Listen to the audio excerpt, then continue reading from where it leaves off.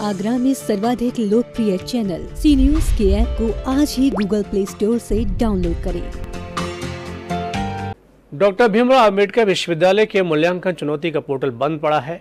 इससे छात्र आवेदन नहीं कर पा रहे हैं। विश्वविद्यालय आने पर भी उनको कोई जानकारी नहीं दी जा रही है। इससे वो भटकते हुए नज़र आ रहे हैं।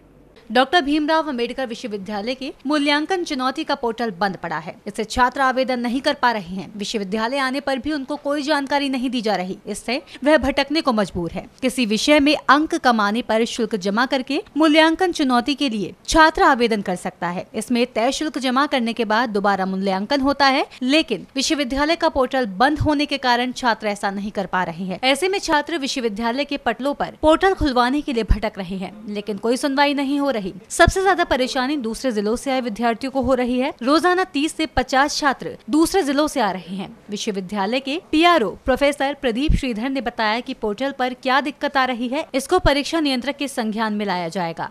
सी न्यूज़ के लिए लक्ष्मीराज सिंह की रिपोर्ट।